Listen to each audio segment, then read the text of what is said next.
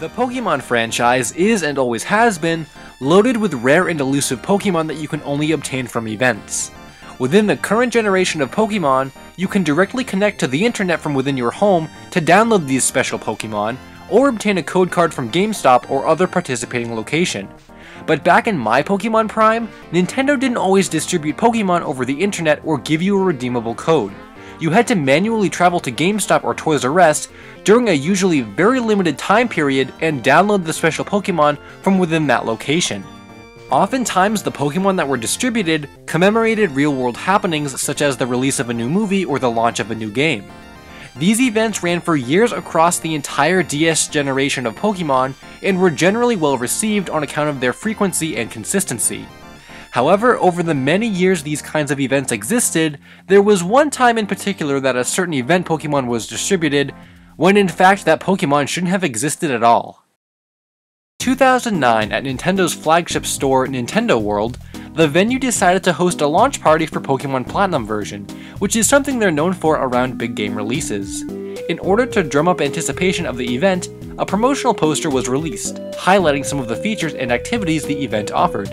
It all seems pretty straightforward and obviously would attract interest from people all around the area.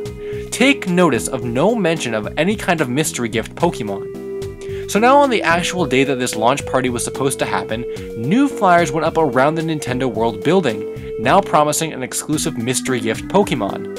Well that makes sense, right? Wouldn't Nintendo want to release a special Pokemon to commemorate this event? So upon opening up your game and downloading the mystery gift, you actually could receive a Pokemon. Except, it's actually nothing Nintendo authorized and it's highly offensive.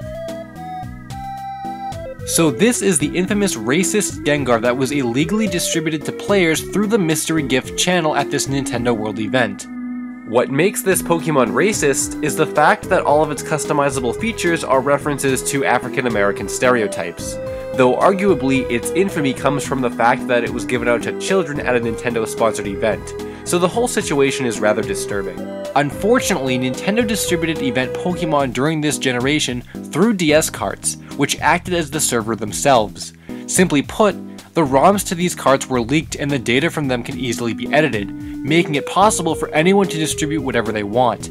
Apparently, there were at least two reported mystery gift Wi-Fi signals going around, and that was enough to prompt Nintendo to investigate. However, only one of these signals was actually distributing Gengar. According to some online research, turns out the other signal was distributing an Eevee for a short period of time, in conjunction with a completely unrelated fan event. On the same webpage, it's also revealed that the fake flyers hung up around Nintendo World were also completely unrelated to Gengar and were intended to be used for this Eevee event as well. It was just a coincidence that both unofficial distributions happened at the same venue. Reports say that the culprit behind the Gengar distribution was a rotund, bearded, generally unkept individual who was dressed as a Team Rocket grunt. It shouldn't come as a surprise that he was escorted out of the venue and promptly arrested by police. Now, this picture of a James cosplayer is often connected to articles of the event with claims that he was the guy distributing the Gengar, but he doesn't completely match the previous description, and there's been some discrepancy between the James outfit and the reports of an actual Team Rocket grunt outfit. Not to mention, I found this post in the comments of a related article. Apparently this guy is the James cosplayer named James Craven, who states that he was not the one distributing the Gengar, but that it was another individual. Considering this person doesn't have a beard at all, and no one else would probably make a case defending a random cosplayer, his story seems to check out.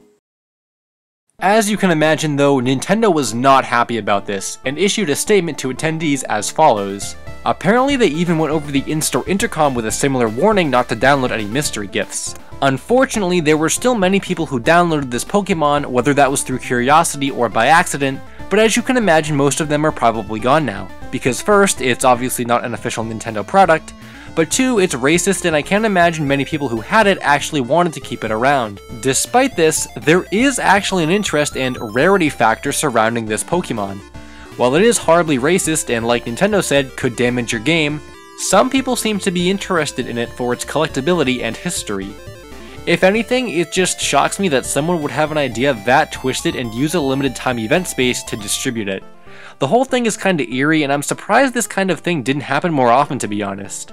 But there you go. Next time someone tries to make a statement about Jynx, just tell them the unsettling story of the fake mystery gift Gengar.